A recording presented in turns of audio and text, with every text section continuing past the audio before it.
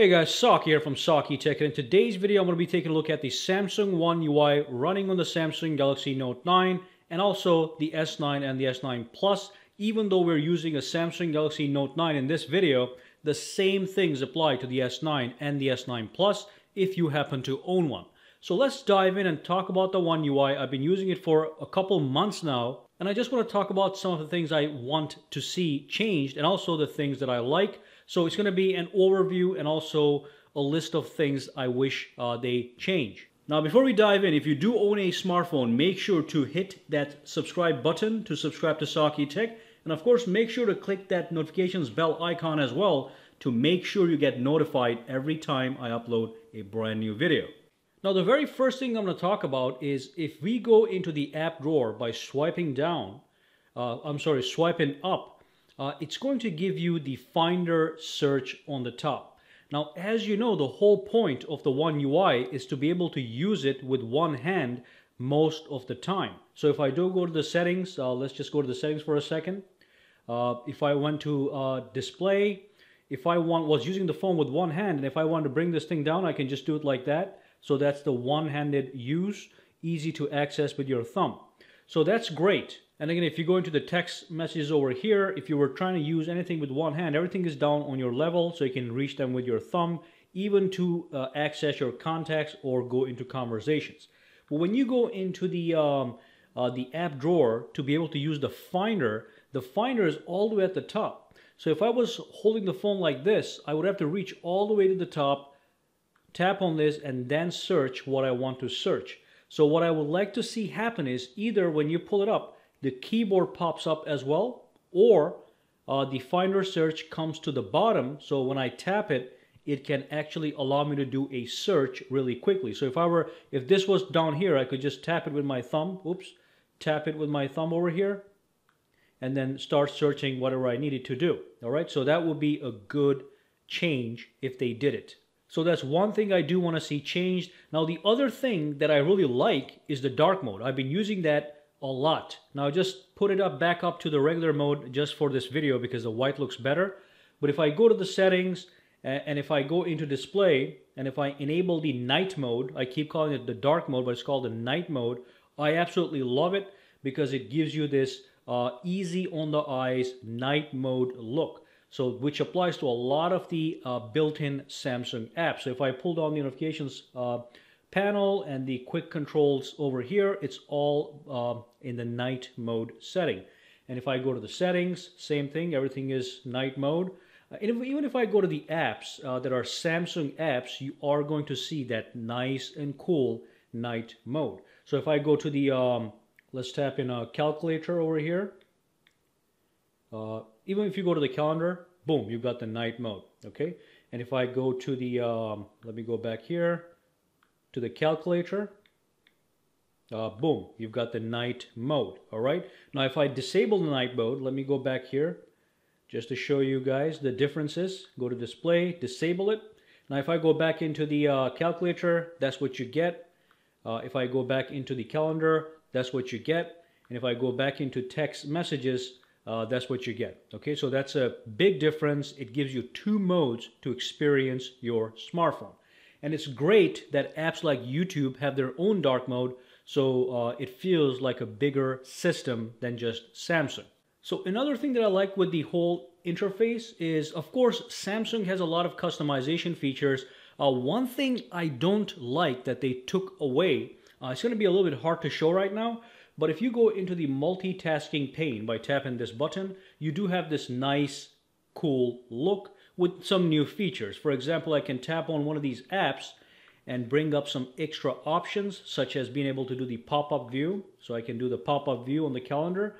Uh, or if I go back here, tap it again, I can do the split screen from here, which is also great. Okay, it's very easy to activate the screen on multi-tasking now.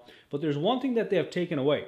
So if you have a Note uh, 8, Note 9, S9 or an S9 Plus right now, and if you tap this button, uh, you'll see a bunch of cards stacked on, on top of each other. But then on the top, you can tap this button and you can go from the uh, tab view to the list view, which gives you a list of all the current running windows over here uh, in a single row. So you could have the messages, calendar, and they all have their own row. Now that option has gone as well, and that's something I wish Samsung brings back to the table because it's really something that I use all the time. I, the way, I like the way it looks. Now I'm not saying I don't like this. This is absolutely fantastic, but it's the only option given to me, and I'm used to having multiple options with the Samsung uh, smartphones. It's nice to spice things up every now and then to have a better look. Anyway, let's move on and talk about one more thing. So the other thing I want to talk about is a navigation bar at the bottom.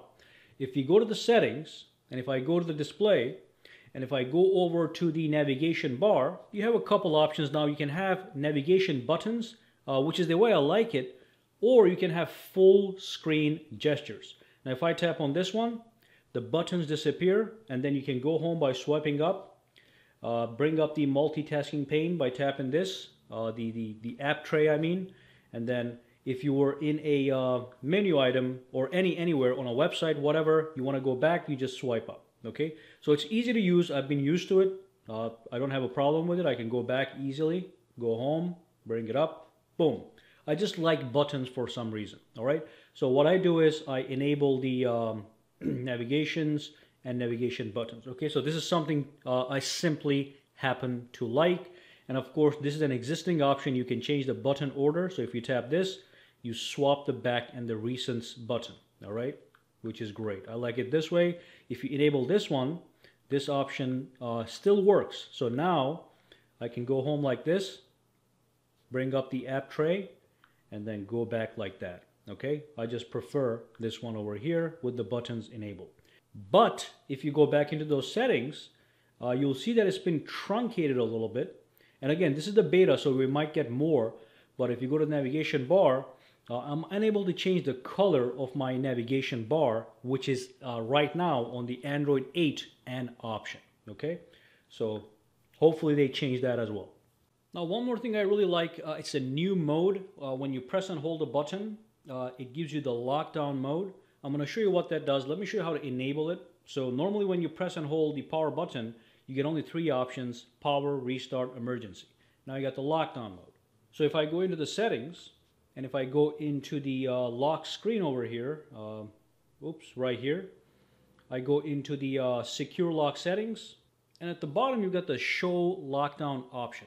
So when you lock your phone using this option, it disables everything but only keeps the PIN number enabled. So you cannot use your Face ID, your fingerprints, you cannot see notifications on the lock screen, you cannot use smart lock and all that stuff to unlock your phone or look at your phone. You will see nothing and all you can use is uh, your PIN number to unlock your smartphone. Let me show you what, what that means. So if I turn off the screen and turn it on, uh, I have the Face ID and the uh, iris scanner that I can uh, I can use. By the way, if you tap on the clock, it gives you a little clock icon, just so you know. Uh, but this is allowing me to use my face, my irises, my fingerprint to actually log into the phone. Let me just put my PIN number in. But if I were to go into the uh, lockdown option and enable that, and if I turn off the, I mean, uh, press and hold the power button and tap on lockdown, it is going to lock my screen but all the notifications are gone. Cannot use Face ID. It's not even giving me the option. Cannot use fingerprint. All I can do is swipe up and put in my PIN number. So that's what the lockdown mode is all about. Let me put my PIN. So that's just a new option that I happen to like. Uh, one more thing I like is if you go to the settings and if you go into the device care, okay? Uh, if you tap on the button on the top here, you have the option for auto restart. Now auto restart is already in the Note 8, Note 9, S9, S9 Plus, even the S8, but it's a little bit different. Now normally what you can do with the old restart mode is you can only pick one day a week and a time to automatically restart your phone just like you would restart a PC to make it more uh, fresh and robust. With the new auto restart, once you enable it, you can pick every single day and you can have the phone restart at a given time uh, which might be a better option than doing it once a week. So maybe not every day, but I can do it on a Sunday, and maybe I can do it on a Friday at 3 a.m. And that just makes sure that your phone runs in optimum condition. Now this option again is already available in the old versions, but you can only pick one day per week. Now you can pick seven days a week if you so desire. Okay, so let me just turn that off. And that's another thing that I really enjoyed. Yeah, but that's it in this video. I'm not going to go into full details. I do have other videos that go into the full details of the One UI. I go over the edge screen, how it looks like. You have this new look when you tap this button. Again, one-handed access to all these edge panels if you so desire. Uh, but I mean, just uh, look for the other videos. I'm going to drop links here and there. But this is these are some of the things I like and also I wish were changed in the One UI with the official version being released soon, which is most likely going to happen towards the end of January for the S9 and the S9 Plus, and most likely February uh, for the Note 9. It did get pushed back as far as I know. Uh, and that's only for the US, uh, for the United States. I'm not sure about the other countries, just can't keep track of every single thing uh, on the planet. All right? Well, thank you for watching this video, guys. Make sure to subscribe to Saki Tech, give this video a thumbs up, and of course, have a fantastic day.